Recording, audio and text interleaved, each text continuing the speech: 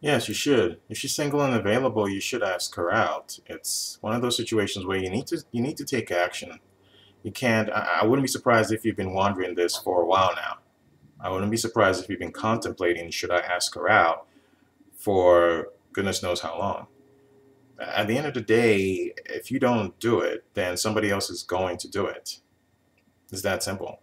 Unless you're just kind of hoping for some miraculous uh, event where she's like, oh, and basically she's asking you out or she's trying to make it happen. I mean, it, can happen in some situations, but for the most part, you're, you're going to have to make that, that make make that first move for the most part. So if she's single, she's available, ask her out. Just think about it this way. The longer you wait, the harder it will be for you to do it because you start overthinking so you're going to keep talking yourself out of it. And someone else, someone else is going to ask her out. And you're going to see her with that person and you're going to feel lousy. Guys and girls, leave your comments down below. Subscribe to the channel. And if you want to ask a private question, click on the link below for consultation.